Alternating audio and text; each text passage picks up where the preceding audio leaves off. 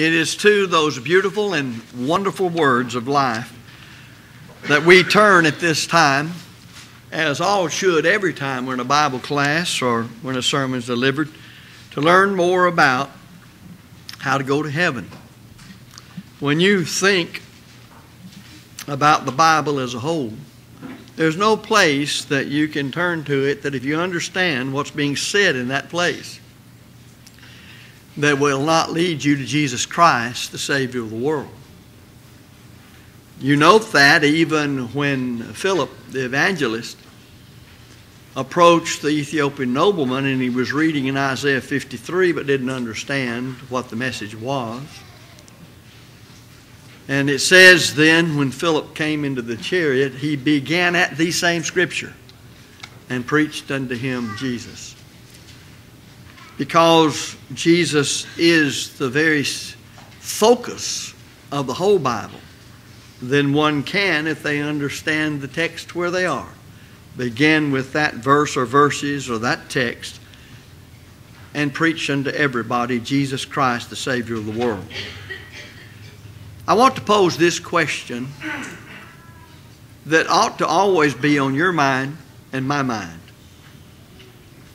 Why is God's will not done? Why is God's will not done? Jesus said in the Sermon on the Mount in Matthew chapter 7 and verse 21 Not everyone that saith unto me, Lord, Lord, shall enter into the kingdom of heaven, but he that doeth the will of my Father which is in heaven. Then he goes on in the next verses to give a preview, a word study of the judgment day. Because evidently a lot of people will be in the boat of saying, Lord, Lord, but they did not live their lives in the flesh on earth doing His will. Notice verse 22 Many will say to me in that day, Lord, Lord, have we not prophesied in thy name, and in thy name have cast out devils, and in thy name done many wonderful works? Well, they didn't actually do it in his name they'd done it in his name, they'd done it by his authority, and his will would have been done, and they wouldn't have been in this position. What you have here is what they thought they had done. But notice verse 23 And then will I profess unto them, I never knew you. Depart from me, ye that work iniquity. Now, if they'd been doing his will, Jesus wouldn't have told them, You've been working iniquity. That proves, beyond a shadow of a doubt, that what they thought they were doing by his name or by his authority was not what He authorized. I do not want to be found in that position. And God tells me I don't have to be. And that's a good thought. But all around us, there are people not doing the will of God. And it's not just enough, according to Jesus, to acknowledge Him as Lord and Savior. So I want to ask the question why is it not done? Well, I think there's four fundamental reasons that the will of the Lord is not done. First of all, people are just ignorant of it. They don't know it. Ignorant is not a bad word. It just says you don't know something about something. And they don't know the Lord's will, so they can't do it. Not intending to do it, not knowing they're doing it, not wanting to do it. Another reason is, is because they just don't believe him. They may read that God said this and this applies to me. They don't really believe him. How many people acknowledge Jesus Christ as Lord, call him their Savior, acknowledge the Bible as the Word of God, and the Father of Christ, acknowledge all of that. But they don't take him at his word. They don't believe him. You see, the best simple definition of faith is taking the Lord at His word. You can quote to them some passage they don't believe, and they'll just say, Well, He didn't mean that. Or I just don't think God is such and such, or whatever. Either way they do it, or whatever excuse they use, they're not doing what the passage says that God expects people to do. So, ignorance and unbelief. But then there is another reason just old stubbornness. Listen to what Paul said in writing to the church at Rome, addressing Jews and Gentile members of the Lord's church. In Romans 2 5, he wrote, But after thy hardness and impenitent heart treasurest up unto thyself wrath against the day of wrath and revelation of the righteous judgment of God. Hardness and impenitent heart. Thus, they determine, for whatever reason, not to do what they know the Bible to say. Or, or, they many times will do it like the next point, because these are connected ignorance, unbelief, stubbornness. The third is neglect. I fear greatly that neglect is going to be a reason a lot of church members lose their soul. Peter evidently thought so. For those of us in class, it ought to be sharp on our mind. When he said, This second epistle, beloved, and I now write unto you, in which both I stir up your pure minds, a way of remembrance. We can neglect things we know we ought to do. How many members of the church say, I'm going to read my Bible every day to hear God speak to me every day and to be more familiar with the truth of God? But they don't do it. How many people, being baptized into Christ for the remission of sins, fully honest in the doing of it, have a hard time and may never get it worked out about routinely and with regularity obeying the commandment to assemble with the saints?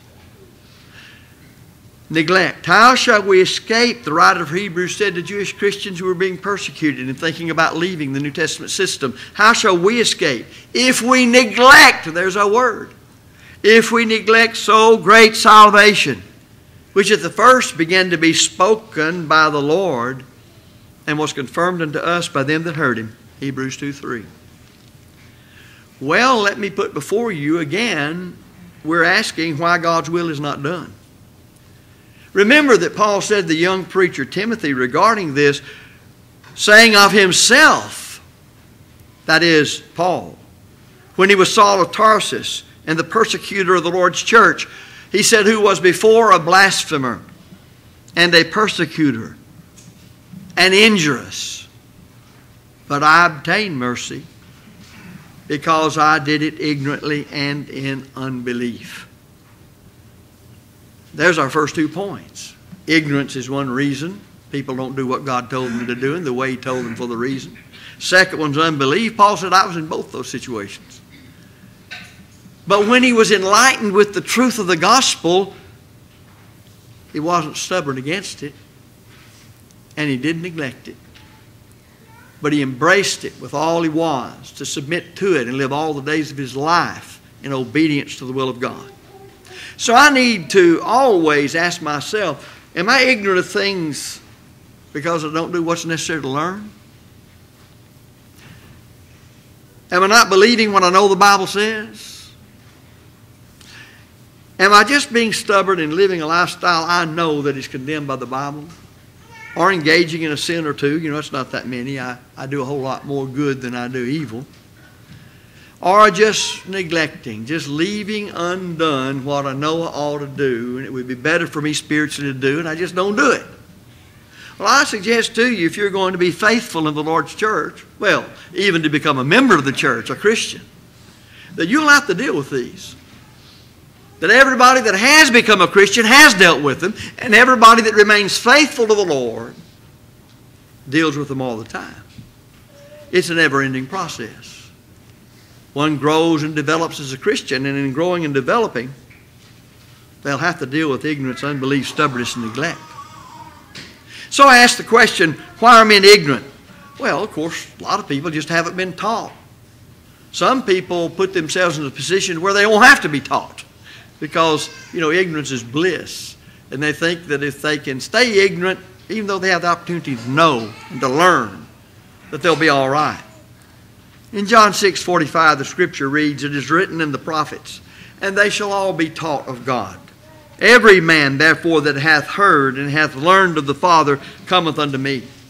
Well, of course, that takes in consideration the hungering and thirsting after righteousness of that man and the honesty of heart to embrace the truth he's learned. You find again, as I make reference, or as I made reference to it in the beginning, the matter of the Ethiopian eunuch. Look at his idea. He's trying to figure this out on his own, but he doesn't have the wherewithal to do it. He knows he needs somebody that knows more than he does. And I think sometimes there's where some stubbornness falls into it because we don't want to admit somebody might know more than I do. Well, I want to tell you personally, as a preacher in my own Bible study, if I haven't, if I had benefited from what folks who had blazed the trail ahead of me, then I, I don't. There'd be so much I wouldn't know today. And evidently, this was a good attitude of the Ethiopian eunuch because when he was asked by Philip, Do you understand what you're reading? If you've been like most people, oh, well, certainly I understand it. Of course, you know then that you're leaving yourself open, then we'll explain it to me, and that's when things get interesting. But he said, How can I except some man should guide me? Well, we're not about to admit that I need guidance from somebody else. That knocks at our old good independent American pride that I need help from somebody else. But he desired Philip, the scripture says, that he would come up and sit with him. Acts 8.31. Have you ever noticed how many times the Lord, in dealing with people in his earthly ministry, just simply said things and did things to see, now just how interested are you? Sometimes he found out they weren't interested at all. And when he did, he left them alone. Then there are those who are deceived. You read of these in 2 Thessalonians 2 10 through 12. Being deceived means, now I know that's not the truth, but it sure sounds good to me. Uh, you know, old patent medicine salesmen and car salesmen sometimes, we used to say used car salesmen today. Uh, even um, African witch doctors or witch doctors from New Guinea or somewhere. They're all peddling stuff in such a way as to get you to believe what probably they know very well is not true. But they may be deceived themselves. Why, our greatest danger is ourselves. Listen to this. 1 Timothy 4 or 2 4, Paul said to Timothy, who will have all men to be saved and come into the knowledge of the truth. And he was speaking that, speaking in this words about even the leaders of the country. You know, we get so hard after people, and they deserve it by their ungodly lifestyles. Sometimes we fail to realize that God would have the president and his whole staff and family saved every senator and his wife and family to be saved, members of the Lord's church, every congressman, every Supreme Court justice, every federal judge, every mayor of every town and city, and all the city council and all the state government and governors. He'd have every one of them to be saved. Now, if he would, then what about the spiritual body of Christ who is saved? Should we not also have that same attitude? So let's remember that when we're striving to expose error, moral error, or whatever it is, that we don't get to a point where we really wish they were in hell burning. That just won't work. That just won't work. Not to have the Christian attitude, the attitude of God, the attitude of Christ, for He died to save all. So as we oppose error, let us oppose it with the desire that we want the person committing the error to be saved, not to be lost. A lot of people refuse to know. And even as they did not like to retain God in their knowledge, Paul says of the Gentiles leaving God, it says, because of that, God gave them over to a reprobate mind to do those things which are not convenient. Romans 1 and verse 28. Now, all of this has to do with the person outside of Christ for the most part and why God's will is not done by them in order to become Christians, members of the Lord's church. But I said earlier that all of these have to do with what we will face in growing and developing to become more like Christ all the days of our life. Let us not be found to where we cultivate the very things that hinders us from knowing God's will and doing God's will. Because it's not just enough to know it. It's a matter of fact, you can't do it if you don't know it, but knowing it is not enough.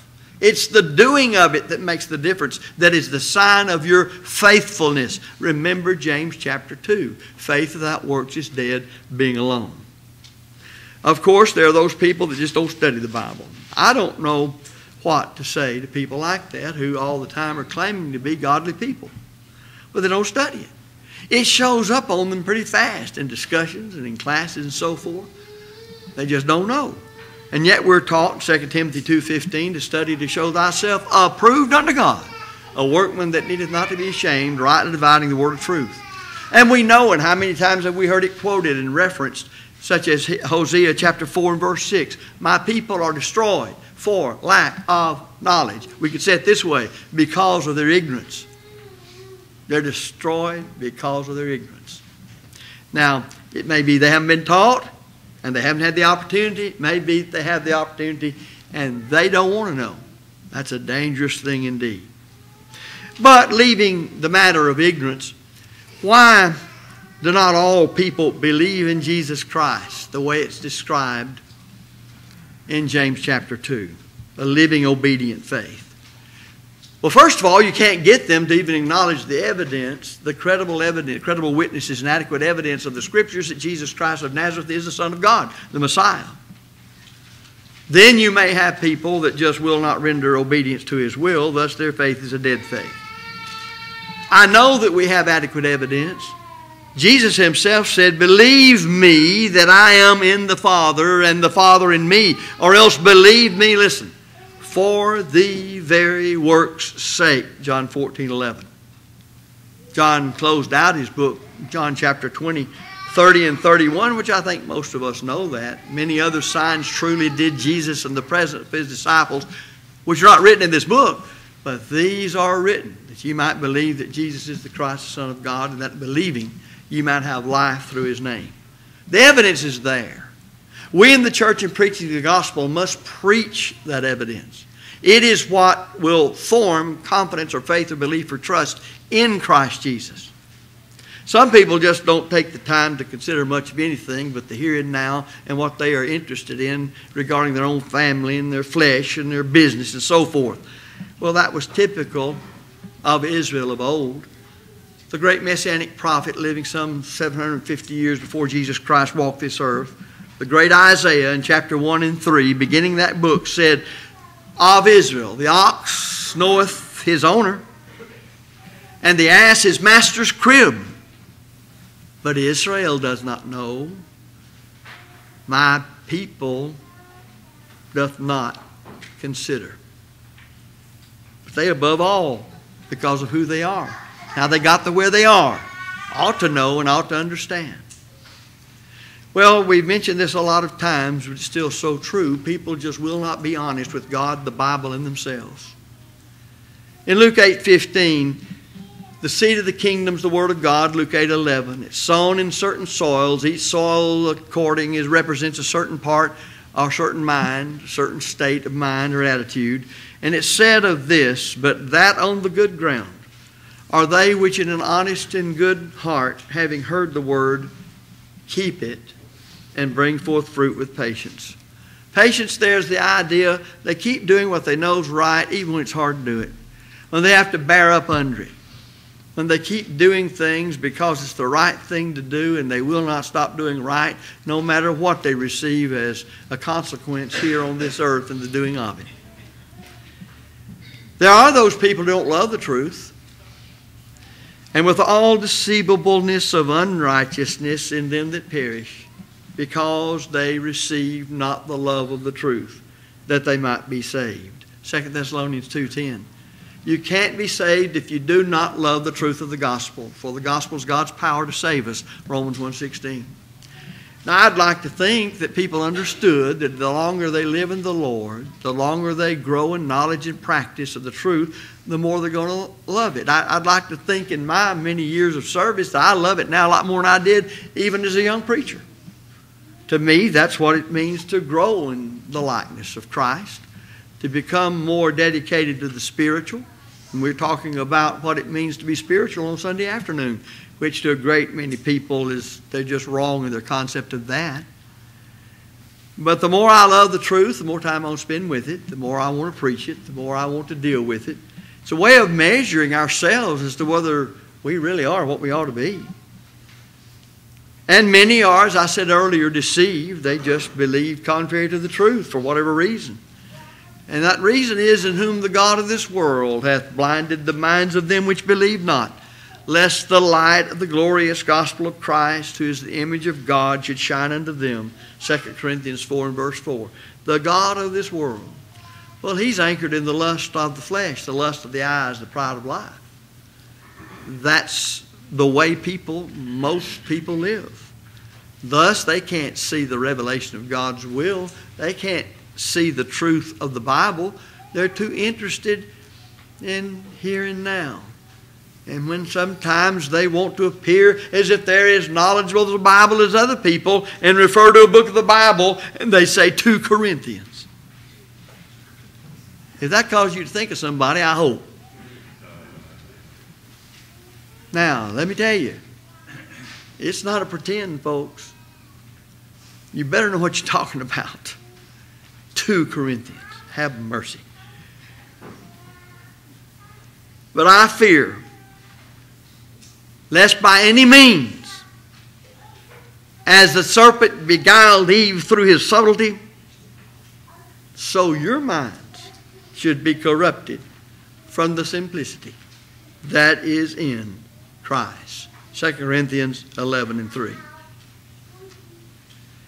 You know, most people who know they're ignoramus when it comes to the Bible just don't touch it.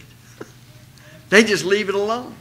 But some people are such ignoramuses, they trying to show they know something when they don't. They prove further they are ignoramuses. Then there are those, and this really gets our age, folks. They trust in their feelings. We're in a touchy feely generation. Have you noticed on Facebook how many people say, I'm in need of a hug? Tell me what on the face of the earth a message on Facebook is going to do for you to get a hug. Are they going to do it electronically? I see lots of things posted on social media that makes no sense whatsoever. It's just an emotional statement. I got up this morning, maybe they didn't get their coffee or something. I don't know. And they've got to have somebody just, you know, squeeze them. Well, that might be all right for a husband and a wife and parents of children, children of parents. But I've never been a huggy huggy. I, I, not with anybody now, understand that. I believe in hugs, believe in kisses. Have no problem with that. But not just anybody walks up to me. They're more likely, unless I know I'm going to get a stiff hand. At one time in a congregation, there, and, I, and this I still remember it. I can see it right now. This woman was going to hug me. She was going to hug me no matter what. Right in the great gulf between the aisles right here. Now, there's nothing automatically sinful in anybody hugging.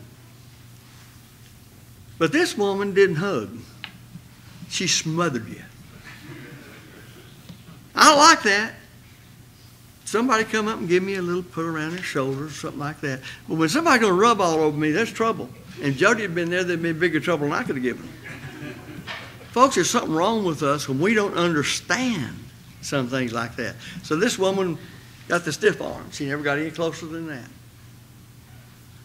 Brethren, where's the common sense that goes up here? How do I know I need to obey the gospel? I have obeyed the gospel. How do I know I'm faithful in the church? How do I know I'm not faithful? How do I know that I'm living like the Lord is pleased with me? That He is pleased with me. Well, it won't be by feelings. It won't be by feelings. It'll be my knowledge of the truth that I'm practicing it in my life with the right attitude. Feelings can't, and we're not going to go back into that, but feelings can't prove anything. Let me give you a good example in the Old Testament. Remember that was written aforetime for our learning, that we through patience and comfort of the Scriptures, from the Scriptures, might have hope. Romans 15 4. Do you remember poor old Jacob? You remember Joseph? You remember the hatred of his brothers for Joseph? You remember the coat of many colors? You remember how that they one of the brothers wanted to kill Joseph, another one talked him out of it, and they sold him into slavery. But they had to tell daddy. And they weren't about to tell him we sold our younger brother into slavery. So they did another wonderful thing. They said a wild beast has killed him. And they tore his coat of many colors, put goat blood on it, and brought it to him. Said, Here it is. Have you ever read about Jacob? Jacob had all the emotions of a father who had lost a son. But was he dead? But the emotions were there. But was he dead? No. How are they going to find out whether he was dead or not? You're going to have to be able to find out the evidence that said he's dead or he said he's not. And that took a while, didn't it? Took a long time down the road. And all those years, Jacob thought his boy, his special boy, was dead. But he wasn't. If you go on your feelings altogether or deceive yourself by believing a lie, what appeared to be evidence wasn't, then you may have all the feelings that something is this way or another. You may think you're saved and rejoice that you're saved. But if you haven't obeyed the gospel, you're not saved no matter how you feel. We've got to study the Word of God and act upon out of an honest heart the truth that we read. If you continue in my words, then are ye my disciples indeed, and ye shall know the truth, and the truth shall make you free. Now, God said that through Jesus Christ. Do you think He's then given us His Word in such a way as it's next to impossible to learn what to do to be saved? God wants us to be saved. Paul declared in Mars Hill in his sermon, He's not far from any one of us. God wants to be found, but we're free moral agents. He wants us to will to find Him. Why are people stubborn? if you want to be a philosopher, there's a good place to start. Why are people stubborn, bullheaded? Or if you're a female, cowheaded, either way. Why are you stubborn? We're creatures of choice. We have free will. That's why. And we like doing things our way. We like having things our way. Listen, for men shall be lovers of their own selves, covetous, boasters, proud, blasphemers, disobedient to parents, unthankful, unholy. So Paul wrote to the young preacher, 2 Timothy 3 and 2. Now, he needed to know that for his own spiritual well benefit, but as a preacher, he needed to know you're going to deal with people like that when you preach the gospel. You're going to have to deal with them. You're going to have to deal with people and their free will. People don't like to have it pointed out to them that they are transgressing God's will. They don't like it. Self willed people will work it out to where they can keep doing what they want to do, though it's contrary to the Word of God, and feel good in it. Pride is something that is a terrible thing. We use the word pride in a good way today to mean I'm happy for you and I'm glad you accomplished something, but pride is used in the Bible. The vainglory or pride of life is a part of the world, and the world passes away and the lust thereof. Notice what is said in Nehemiah 9 29 concerning the people. And testifiedest against them that thou mightest bring them again unto thy law. Yet they dealt proudly and hearkened not unto thy commandments, but sinned against thy judgments, which if a man do, he shall live in them, and withdrew the shoulder and hardened their neck and would not hear. Would not hear. They chose not to hear. They did what they could do not to hear. In Daniel 15 20, it is said of Nebuchadnezzar, But when his heart was lifted up and his mind hardened in pride, he was deposed from his kingly throne, and they took his glory from him. The very deceitfulness of sin, the lies we believe, is what works that way too, to build up our pride and cause us to reject and not do the will of God. And we're taught, but exhort one another daily while it is called today lest any of you be hardened through the deceitfulness of sin. Hebrews 3:13 that was said to members of the church. And then one biggie is God delays punishment. In other words, as soon as you sin that moment you don't die in the sense of physical death. Listen to what it said in Ecclesiastes chapter 8 verse 11. Because sentence against an evil work is not executed speedily, Therefore, what's the result of it? Therefore, the heart of the sons of men is fully sent, set in them to do evil. One of the reasons that punishment for breaking laws, whatever the punishment might be, in our society doesn't do the good it ought to do and could do is because you can appeal forever. Man's not perfect in his laws. Man makes mistakes. But overall, the jurisprudence system that governs this country is as good as you're going to get. But, brethren, let's move it from that to the church of the Lord. Listen to me. When members of the church commit sin, and we play pity patty in the holy water with them for weeks and weeks and weeks on end, why should they think there's going to be a problem? Let me ask parents here who love your children when you discipline your children, whatever that discipline may be, because they did wrong, they did not do what you said. How long you put up with it? Of course, the modern family may never deal with it. They yell all the time and threaten. But we're talking about a godly family and what parents are there for. Parents are there to rear their children in the nurture and admonition of the Lord. Well, what about the family of the living God, brothers and sisters in the family? Sin is not something to be trifled with, folks. You see, that's something we've, we, have we have deceived ourselves. Little sin, big sin, sins that don't really bother the whole church. Where did we learn from God's good word that'll judge us on the last day that we ought to deal with members of the church like that? Just let them drag right on. Drag right on. They know nothing's going to happen. So, yeah, but we'll do something someday. Do what? Why should they fear anything? You think fear ought to be in a Christian when he sins? Fear toward God and fear what his faithful brethren ought to do? There's something wrong. And you know what we do? We play like some of those folks in politics that we don't like so well. We act just like those folks in Washington we don't like. I guess it comes right down to where it's a lot easier for me to get on the lectureship circuit and preach against sin, and who's going to hell, and so forth way out there than it is to look at folks I have to deal with every day and deal with them.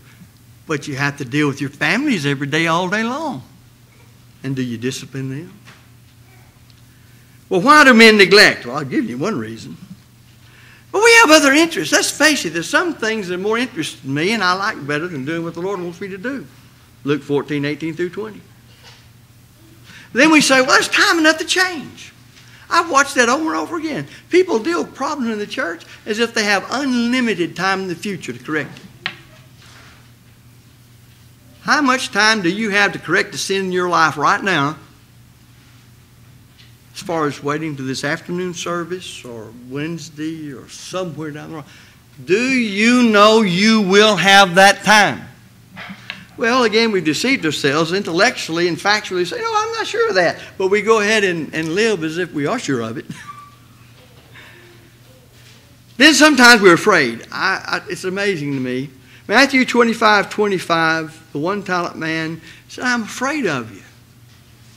So I just take what you give me and hide it and I give it back to you. I don't do anything with it. Well, we usually talk about the one talent man there, but do you know a 10 talent man can be that way too? Or a 50 talent man or a five talent man. You can be afraid and just not do what you know the Bible says you ought to do. Would you expect the Lord to say, Well done, thou good and faithful servant, or maybe, Well done, thou good and fearful servant, but fearing the wrong thing? Waiting for a more convenient time. Acts 24 25. Paul preached the word to Felix. And as he preached the word, he reasoned of righteousness, temperance, and judgment to come. And Felix did tremble. That's more than we can get some good Americans to do, and even some erring church members.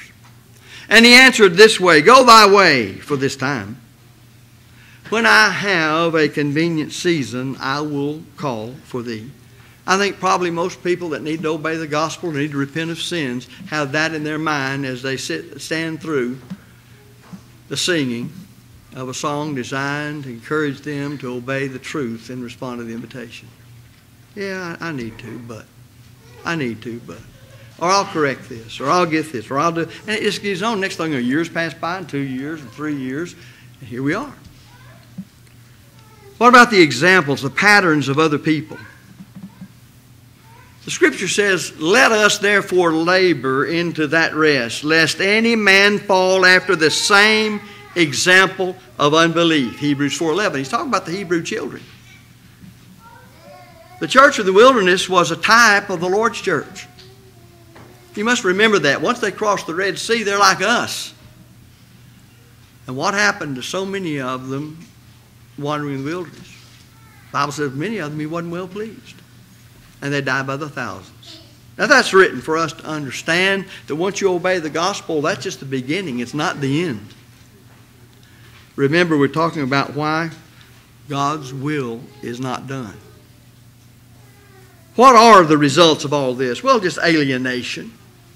In Ephesians 4:18, Paul said to the church at Ephesus, having the understanding darkened, being alienated from the life of God through the ignorance that is in them because of the blindness of their heart.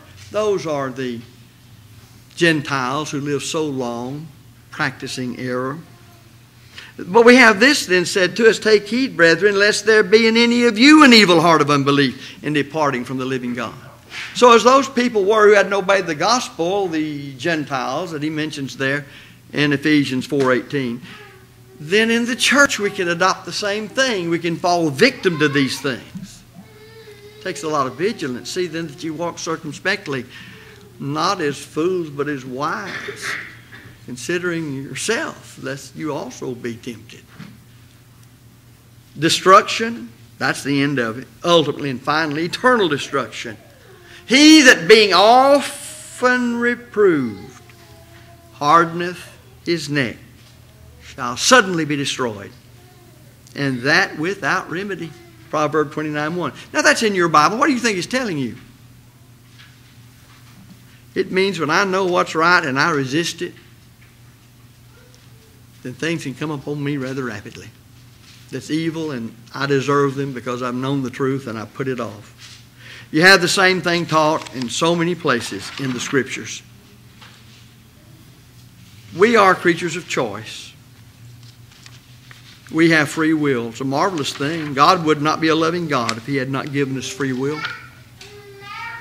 That meant he had to let us do things, and one of those things was that we sin. We transgress God's law. All of sin comes short of the glory of God, Romans 3.23. You know, God's love had to let us do that. He had to create a world to where we could have the truth and be on his side and pure spiritually.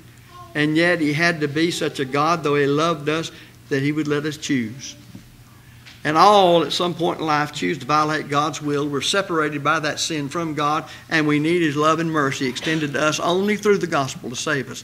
Now, why is, will not, why is God's will not done in your life, in my life, in anybody's life?